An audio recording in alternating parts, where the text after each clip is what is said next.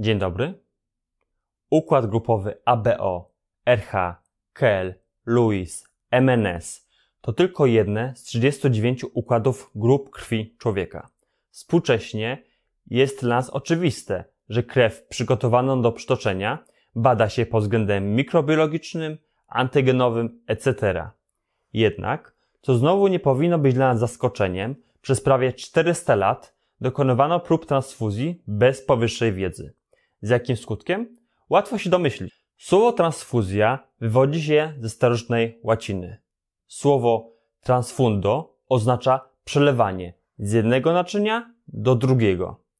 Jeszcze w starożytności zaczęto rozszerzać to znaczenie, e, znaczenie tego słowa na zepsucie populacji przez mieszanie się z obcokrajowcami, kontakty seksualne oraz przeniesienie długu na inną osobę. Samą medyczną historię krwi można opowiadać na jeden z trzech sposobów. Jeden, czyli historia wykorzystania krwi jako leku. I tutaj można wymieniać niezliczone preparaty e, panacealne, oftalmologiczne, dermatologiczne.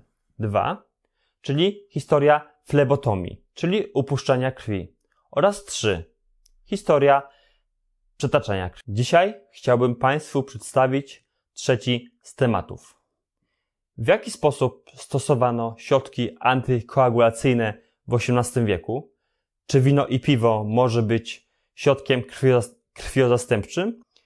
Z jakich zwierząt otrzymywano krew do przytaczania ludziom? Dzisiaj o tym opowiem. Zapraszam do dalszego oglądania.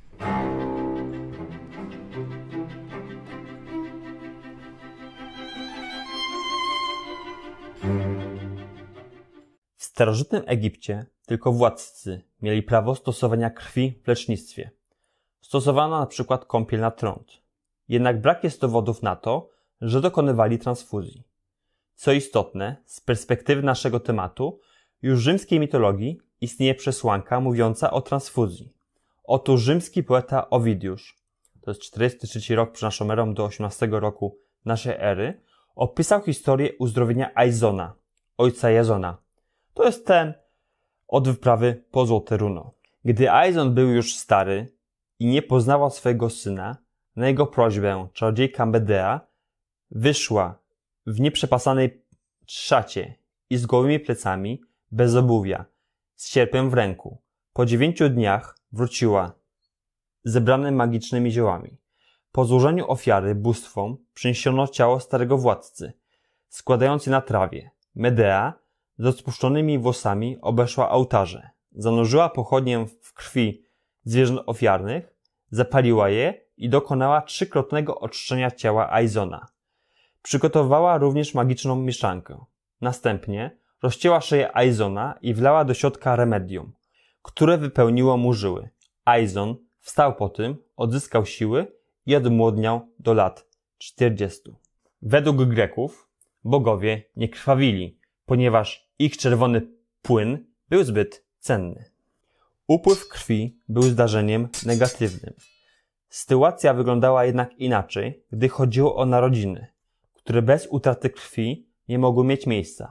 Wtedy utożsamiano je z cudem i radością. Tylko bogowie mogli urodzić się bez utoczenia czyjejś krwi. W mitologii greckiej Atena narodziła się z głowy Zeusa, nie tracąc jego drogocennego czerwonego płynu. Brnąc dalej w mitologię grecką, można zauważyć, że krew oznaczała życie i śmierć. Wierzono, że krew zabrana z prawej strony ciała może mieć inne zastosowanie niż pobrana z lewej strony. W jednym z mitów Atena pobrała krew wyciekającą z ciała Gorgony. W jednej ampułce trzymała płyn z prawej części jego ciała, który miał moc leczenia, a w drugiej ampułce krew z lewej części ciała, która mogła zabijać. Teraz przejdziemy do czasów nowożytnych.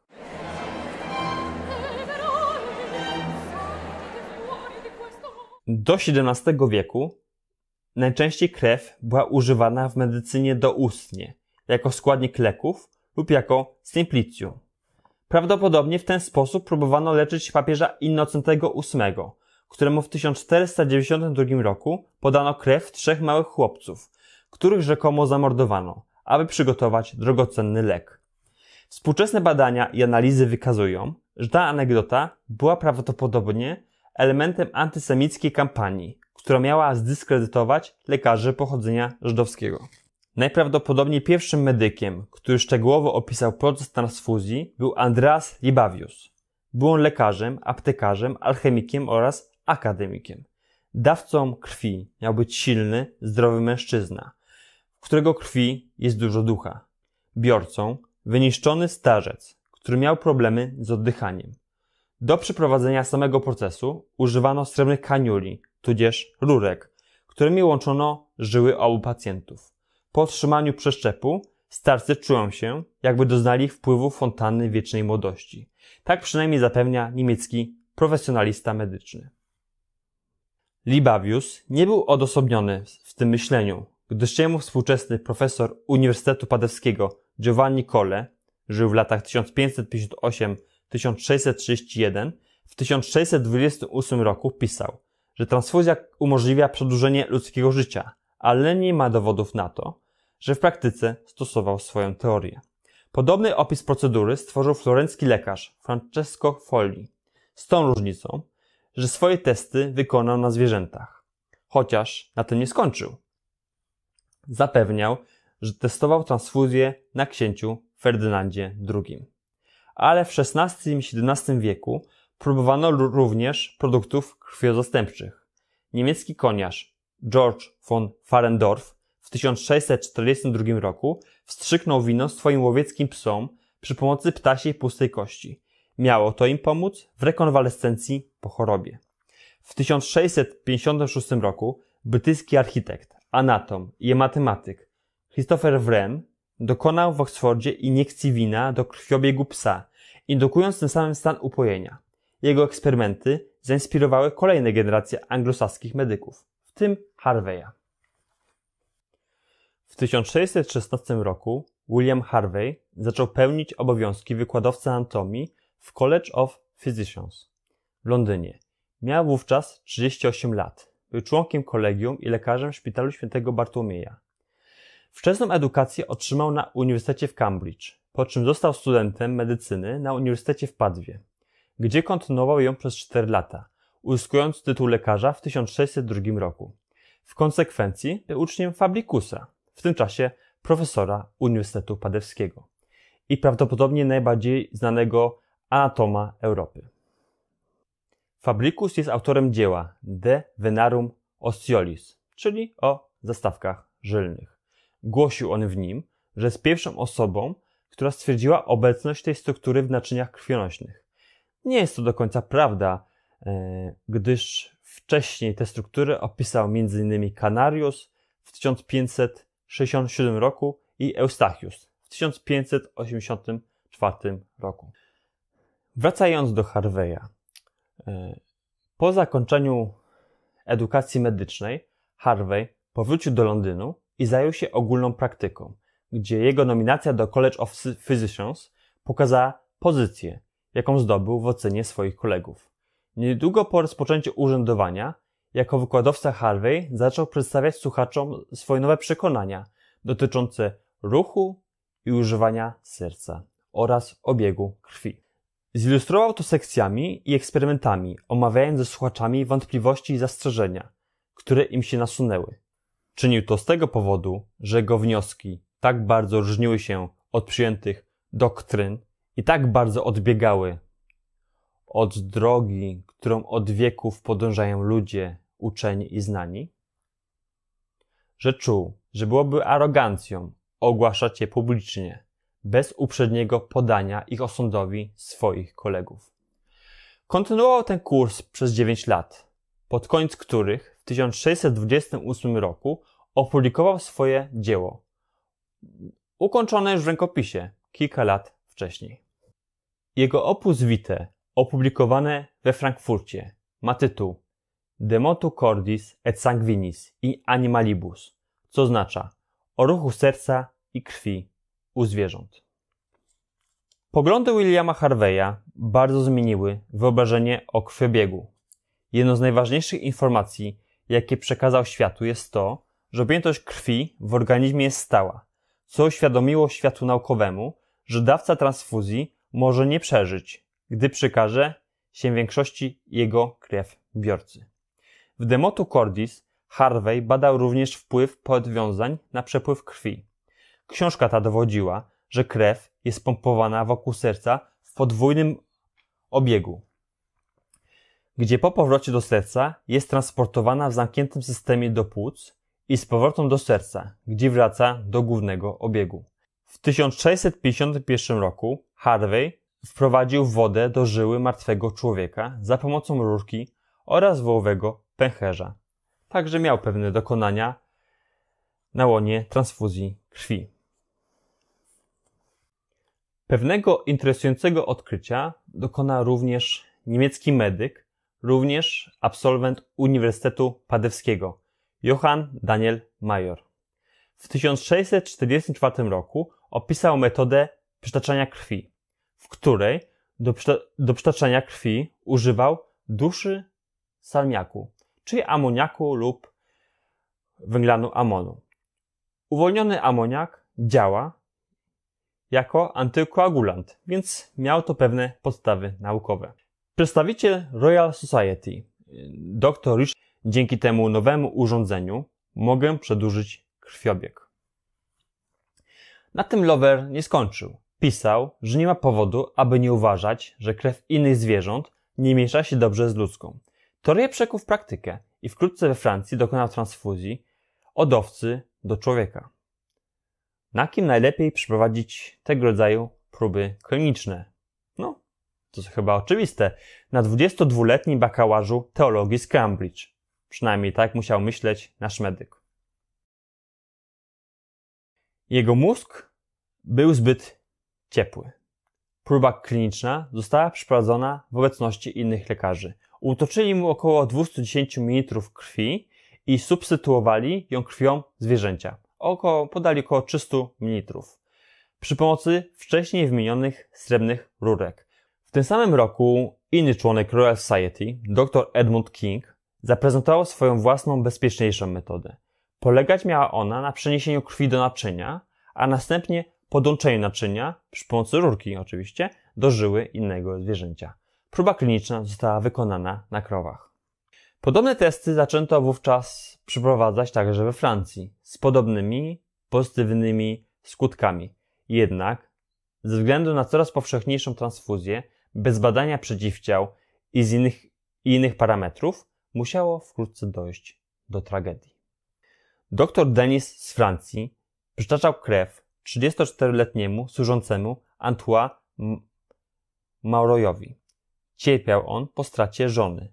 Aby niejako rozcieńczyć obecność melancholii, postanowił przytoczyć mu krew cielaka. 19 grudnia 1667 roku o 6 rano dokonał zabiegu w obecności wielu znamienitych medyków. Początkowo pacjent miał czuć się lepiej. Przytoczyli mu wówczas około 180 ml krwi. Miesiąc później ponowiono transfuzję, tym razem zwiększono dawkę do 300 ml. Służący poczuł kucie i ciepło w ramieniu, ból nerek i kucie w klatce piersiowej. Jego serce zaczęło nieregularnie bić. Dzień przed świętami Bożego Narodzenia dostał krwotoku z nosa, a jego mocz był ciemnobrązowy. Według klasycznej uroskopii, gdy mocz jest brązowy, rokowania wcale nie są dobre. I rzeczywiście, zachowania pacjenta były maniakalne. Nie chciał współpracować, nie chciał kolejnych transfuzji. W końcu zmarł. To była, to była pierwsza opisana transfuzja, podczas której zaobserwowano działania niepożądane. Ciekawym dziełem dotyczącym krwiobiegu i transfuzji było Klemastika Nowa autorstwa Johanna Zygmunda Elsholza, lekarza barona Brandenburgii. Poza kilkoma przedstawieniami praktyki przetoczenia krwi, w tym dziele znajduje się najstarsza ilustracja iniekcji dożylnej przy pomocy strzygawki. Wygłosił także opinię, że transfuzja krwi między żoną a mężem lepiej cementuje małżeństwo. Dobrze, że kolejne pokolenia nie postępowały zgodnie z jego dogmatem. Ale pojawiały się także głosy krytyczne, jak profesora medycyny w Lipsku, Michaela Etmullera. Dzięki temu i jemu podobnych, wkrótce, niemal na 100 lat, zapomniano o transfuzji krwi jako terapii. W XVIII wieku, mimo niechęci do transfuzji, dokonano odkryć, które dały podwaliny pod współczesną transfuzjologię. Dzięki badaniom Lavoisiera i Plestleya zrozumiano, że powietrze składa się z życiodajnego tlenu. Następnie anatom Antonio Scarpa wraz z Michael Rosa przeprowadził eksperymenty dotyczące transfuzji. Próbował on leczyć transfuzją zwierzęta, które utraciły dużo krwi. Co istotne, podzielił on grupę kliniczną na dwie podgrupy. Jednej przytaczał krew pełną, drugiej osocze. Udowodnił dzięki temu, że krwi znajduje się substancja transportująca krew. Może współcześnie dla nas wszystkich to oczywiste, ale wówczas było to wiekopomne odkrycie, całkowicie zmieniające percepcję na krew i kładąc podwaliny pod współczesną fizjologię i transplantologię. Kolejnym krokiem ku współczesności były badania nad substancjami o właściwościach antykoagulacyjnych. Dokonał tego brytyjski anatom William Hefson. Zauważył, że od lat ludzie przetwarzający krew zwierzęcą na żywność potrafią zahamować koagulację. Po licznych testach opracował metodę przechowywania krwi na słońcu, bez koagulacji, dzięki sieczanowi sodu. Ze względu na śmierć pacjentek przez krwawienia okołoporodowe, położnik James Blundell żył w latach 1790-1878, postanowił prowadzić na nowo do praktyki medycznej transfuzję. Jako ciekawostkę powiem, że wówczas głównym środkiem stosowanym do hamowania krwawień ginekologicznych była, była czerwona. Pisałem o, o tym kiedyś w jednym artykule. Link znajdziecie w opisie. Po wielu testach opublikował artykuł dotyczący tej terapii. Opisał także strzykawkę wykonaną z mosiądzu, którą stosował do transfuzji. Ważne jest to, że wspominał, że należy dokonywać przytoczenia tylko w wypadku zagrożenia życia pacjentki. Wiadomo także, że transfuzje krwi są dzisiaj możliwe dzięki odkryciom francuskiego lekarza Prawaza. Prawaz wynalazł metalową strzykawkę z igłą, którą potem wykorzystywano zarówno do zabiegów transfuzyjnych, jak i infuzyjnych. Za ojca polskiej chirurgii uznaje się Rafała Józefa Czerwiakowskiego, który szczegółowo opisał proces przytaczania krwi oraz infuzji. Kolejnym Polakiem, który przyczynił się do rozwoju transfuzjologii, był Ludwik Bierkowski, autor atlasu anatomicznego, w którym zamieścił informacje o transfuzji i maszynie do jej wykonywania.